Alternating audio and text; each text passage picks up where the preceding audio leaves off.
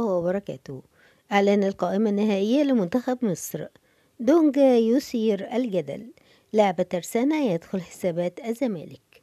نبتدي بالقائمة النهائية لمنتخب مصر. 27 لاعب في قائمة المنتخب النهائية لأمم أفريقيا أبرزهم كهربا وكوكا وعاشور. أعلن البرتغالي روي فيتوريا. المدير الفني لمنتخب مصر قائمة المنتخب النهائية لبطولة كأس الأمم الأفريقية 2024 والتي تنطلق 13 يناير المقبل. وجاءت القائمة كالتالي حراسة المرمى محمد الشناوي وأحمد الشناوي ومحمد أبو جبل ومحمد صبحي. الدفاع أحمد حجازي ومحمد عبد المنعم وعلي جبر وأسامة جلال وأحمد سامي ومحمد هاني وعمر كمال عبد الواحد وأحمد فتوح ومحمد حمدي. الوسط حمدي فتحي وإمام عاشور ومحمد النني مروان عطية أحمد السيد زيزو أحمد نبيل كوكا ومحمود حمادة. الهجوم محمد صلاح مصطفى فتحي محمود تريزيجيه وعمر مرموش ومصطفى محمد ومحمود كهربا وأحمد حسن كوكا.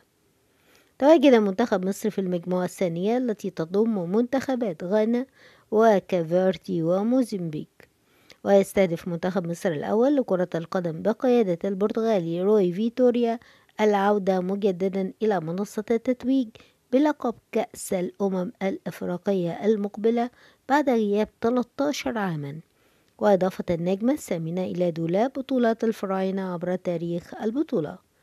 أعلن محمد غرابة مدير المنتخب الوطني الأول استضافة العاصمة الإدارية لمعسكر المنتخب في الفترة من 2 إلى 9 يناير والذي يتخلله مباراة ودية أمام المنتخب التنزاني يوم 7 من نفس الشهر والذي يأتي استعدادا لبطولة أمم أفريقيا والمقرر انطلاقها يوم 13 يناير في كوتيفوار ووقفة بس على حراسة المرمى محمد الشناوي أحمد الشناوي محمد أبو جبل محمد صبحي.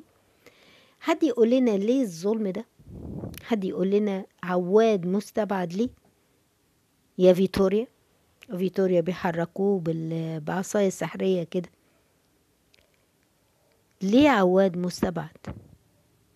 محمد أبو جبل أحسن من عواد. محمد صبحي اللي ليه فترة ملعبش اللي أساسا وهو بيلعب بنبقى مش مطمنين لأن محمد صبحي ده خارم من الآخر. يدخل المنتخب وعواد لأ. أحمد الشناوي أحسن من عواد. محمد الشناوي هو لاعب حارس المرمى المنتخب. بس برضه لو جينا لمحمد الشناوي وعواد نفس المستوى. عواد لا يقل عنه. فده ظلم إنك تستبعد لعيبة من المنتخب بقرارات مش بتاعتك بقرارات الأندية. نادي الزمالك مش قليل علشان يتجاهلوه بلعبته عواد اتظلم مستواه أعلى بكتير من الشناوي. الشناوي حارس بيراميدز. ونفس مستوى الشناوي بتاع الأهلي. محمد عواد أفضل لاعب في حالاته. ليه ما يلعبش؟ ليه ما يلعبش على الشناوي؟ ليه بنستقل باللعيبة؟ ليه بنقلل منها؟ المنتخبات معروف إنها بترفع معنويات اللعيبة وبتعلي من خبراتها. ليه دايما بتختاروا لعيبة من النادي الأهلي؟ حتى أيام حسن شحاتة. حسن شحاتة زملكاوي. المفروض إنه زملكاوي. لكن كل اللعيبة كان بيختارها من النادي الأهلي. ده بيدي اللاعب خبرة بيرفع معنوياته بيعلي من مهاراته. لأنه بيلعب مع منتخبات كبيرة. بيعرف إزاي يتعامل. وبالتالي بيعلي من فرقته. ليه دايما لعيبة الأهلي هي رقم واحد في المنتخب؟ فعايزين بس حد يرد علينا. ومفيش حد هيرد علينا. عادي خالص مفيش حد هيرد. جنش ليه ما يبقاش في المنتخب؟ جنش. جنش ولا محمد صبحي؟ جنش ولا أبو جبل؟ لا أبو جبل. أبو جبل الناس بتتريق عليه من بعد ما طلع من الزمالك. نروح لدونجا. يثير الجدل بعد استبعاده من قائمة منتخب مصر. علق نبيل عماد دونجا لاعب الفريق الأول لكرة القدم بنادي الزمالك. على قرار استبعاده من قائمة منتخب مصر المشاركة في بطولة كأس أمم أفريقيا 2023 ونشر دونجا صورة عبر حسابه الرسمي على منصة تبادل الصور والفيديوهات إنستغرام وعلق عليها طب ده كلام. الراجل مش قادر يتكلم. الراجل اللي عمل زي الأخ إمام عاشور اللي يقولك المبادئ بتاعت الأهلي بتمنعني إني أرد على واحد هجاص ده هو كل اللي كتبه. طب ده كلام. طب ده كلام. الراجل مش عارف ليه مستبعد. دونجا أفضل من أي لاعب انضم في مكانه. ليه الناس بتتريق وتقول هو مصدق نفسه إن هو ينضم للمنتخب؟ طب ده الكلام ده نقوله على جمهور الأهلي لما يقول كلمة زي كده. لكن جمهور الزمالك يطلع يقلل من لعبته ليه؟ ليه ما تبقاش لعبتك رقم واحد في المنتخب؟ ليه؟ ليه ما تبقاش رقم واحد في المنتخب؟ إحنا بنستغرب جدا إن الجمهور اللي بيرفع اللاعب هو اللي بيقلل منه. ليه بتقلل دايما من لعبتك؟ اللاعب بيغلط بس لعبتك محترمة لعبتك رجالة. في الملعب رجالة. في الأماكن اللي متاخدة في المنتخب هم الأفضل. اللعيبة بتاعت الزمالك تاخد خبراتها من المنتخب عشان تعليلك فرقتك فلازم دايما تبقى في ظهر فريقك وفي ظهر لعبتك حتى لو كان اللاعب بتاعك مش كويس لازم تبقى في ظهر اللاعب بتاعك.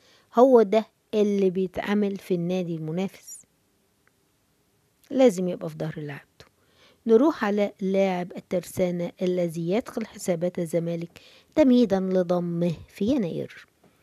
دخل حسن زيكا لاعب خط وسط الترسانة حسابات مسؤول الزمالك تمهيدا لضمه لصفوف الفريق خلال فترة الانتقالات الشتوية. في ظل صغر سن اللاعب واقتناع مسؤول الفريق الأبيض بإمكانيات اللاعب وأرقامه داخل الملعب.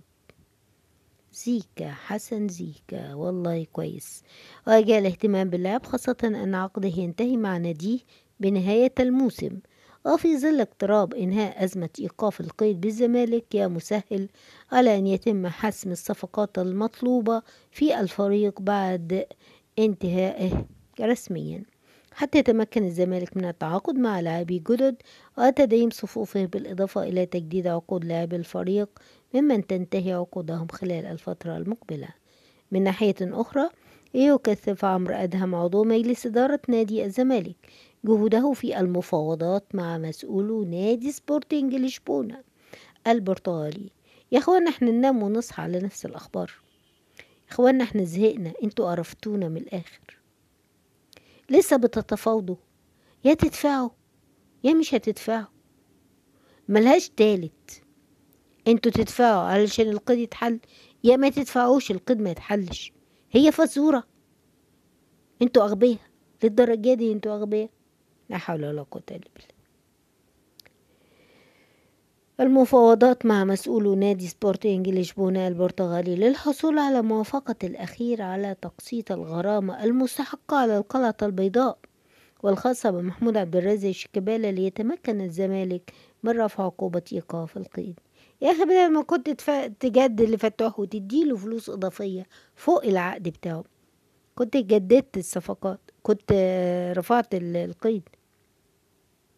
كنت خلصت موضوع سبورتنج لشبونة والغرامة بتاعته. الأخ ممدوح عباس اللي عامل روحه مناضل لصالح الزمالك. فين هو من اللي بيحصل؟ هو ممدوح عباس هو اللي بيدير النادي. فتوح يغلط في الزمالك لا فتوح يرجع بالأمر. رغم إن الجمهور مش عايزه. لكن ممدوح عباس عايزه. آه هو كده وخلص إحنا نحطه كده قنبلة موقوتة في غرفة اللبس. أهو نفعنا هو ده اللي بيحصل في نادي الزمالك. هنقول إيه بس؟ هتبقى هيلاقيها من مين ولا من مين ولا من مين؟ تحية كبيرة لنادي الزمالك العظيم. وتحية كبيرة لجمهور نادي الزمالك المحترم.